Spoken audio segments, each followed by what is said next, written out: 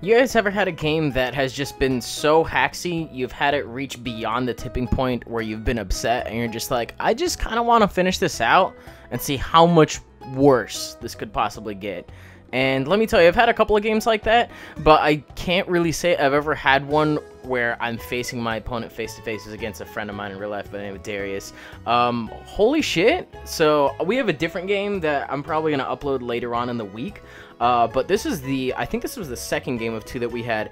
And this was ridiculous because we were like, you know what? I, I have some UUE things. I'm just going to bring those. And he was like, I'm just going to bring some things. And I was like, okay, so, you know, he's got a Mega Ampharos. He's got a, I learned he's got an Assault Vest Drapion. That thing takes hits deceptively well, uh, as you'll see in a little bit. And he's got some other stuff, you know, uh, it wasn't really so much tiers. It was just like, it was like a stuff kind of thing. Uh, I usually, when I play stuff tier against somebody, I get a different vibe for what they have, and I just try to go with it. More importantly, it's just about having fun. Except for, wow, like this, these, just wow. So, I'm to go for a Seed Flare. I do knock him down to a Sash, but immediately, immediately on turn one, we get some hacks. He misses his Icicle Crash. Um, I'm jumping a little bit ahead of myself, but this Shaymin should have been dead. Should have been dead. So he just misses it. Gets to get off some damage with the Ice Shard there. I definitely would have felt a little bit better about myself if he did get a crit on it.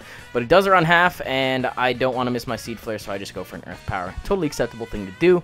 Um, he didn't even get Rocks up with this thing, which is usually what Sash Mamo is there to do. Uh, he just basically kind of lost it. So uh, he's gonna go out and do his Drapion now. I do want to hang on to my Shaymin because it does it is Life Orb rest. So if I can find an opportunity to rest later, uh, I'll take it. It's also a good status absorber. Uh, might as well hang on to it. So I'm looking for something to take a knockoff, and I figure you know what, Krookodile actually doesn't really mind it that bad. It is choice banded, so I lose a little bit of stopping power, but I would like to switch up moves every now and then, so it's not bad. That way I don't get locked into one move that doesn't benefit Moxie. And then right here I can actually switch up to Stone Edge if I do so choose, but I decide to not choose that option. Uh, my Stone Edges really aren't going to be doing that much, and I figure the best thing I can do here is Death Fodder Shaymin to a Brave Bird or a knockoff or a foul play, whatever he wants to do. But it turns out he just whirlwinds me right back out into it. He's pretty set on staying in uh, and just doing whatever he wants to. I don't want my Krookodile in there anymore. I said I was pretty set on my Shaymin being in here and just being ready to die. So he's just going to go ahead and foul play. Uh, he gets a crit here. I don't really care whether or not it mattered. I really don't know if it did or whether or not that's even dependent on my 31 IV I might have on it just because it is a gent imported one. Um, and I usually get lazy about that kind of stuff, so that could have mattered there. I'm not 100%, it is a timid one. Um, I'm not going to go run the calcs. It's, it's just more about the fact that he got a crit uh, versus anything else. So um, he's going to go for a foul play right here. It really does nothing from Mega Aggron, which is actually, or to Mega Aggron, which is fantastic. Uh, Ice Punch does around 25%. I wanted to see how much that was going to do as opposed to Heavy Slam. So I don't know how big of a bird Mandibuzz is. Um, I also just kind of revealed that prematurely. Heavy Slam definitely does uh, a pretty comparable amount. Um, you miss out on a little bit of damage there, but you actually do have the odds to get the freeze. And I was like, you know what, we'll, we'll try it. Well, I'm feeling a little frisky. Might as well go for it. So he whirlwinds me back out into this. Now, that's not so much hacks as it is really unusual luck that this thing keeps coming in on every single whirlwind, and it misses Stone Edge as he roosts. So um, Stone Edge is probably the new high jump kick for me. If you guys have been around my channel long enough, you know that I love missing high jump kick.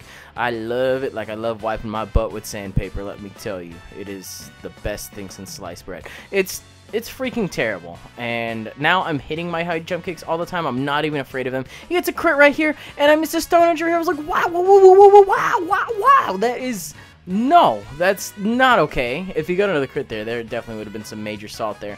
And wow, I actually land this Stone Edge, and what do you know it? It really doesn't do that much damage. But I'm at the point where I'm just like, you know, I'm done with this.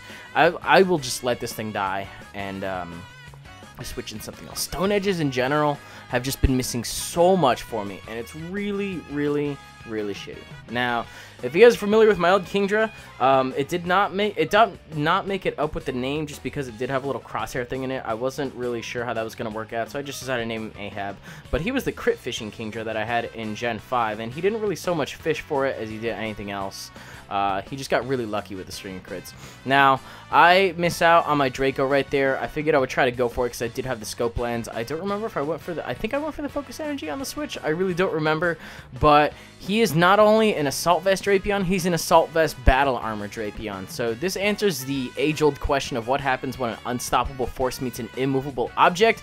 You miss a Draco and you get poisoned and you don't get any crits on him until he tells you after the fact that you did not have a single chance to get a crit in the first place. So I'm just gonna ice beam. I'm like, you know what? Fuck you. I'm done. Um, and I get a freeze. So there's a little bit of luck going in my direction. With the way this game was going, I wasn't surprised. I, I thought it was absolutely hilarious because I'm probably going to die to poison and everything too. Uh, but I'm going to take advantage. You know, there's a frozen Drapion on the field that really doesn't have that high of a damage output in the first place. I'm going for it. So I go into my Zygarde, and this is my DD Zygarde, so I'm just going to set up with it right away. Uh, this is my... I've got three Zygardes, and they're all pretty damn good. Um, this one is my, I believe, my Adamant DD one. I do like Adamant DD better than Jolly DD, um, just because you get more stopping power with E-Speed after plus one. Um, and it's not that awkward of a speed tier. You know what you do outspeed, and you know what you don't outspeed. It's got a good amount of natural bulk. Um, it's essentially like Garchomp, but without fire coverage, and you just DD instead. So I think that's pretty cool.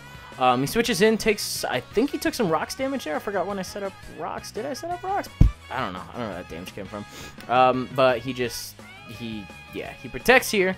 Uh, in order to get his Flame Orb going, I think that is going to, oh, it stops my Outrage. Or, yeah, I'm pretty sure that just straight up stopped my Outrage. Uh, but he's to go for an Earthquake here.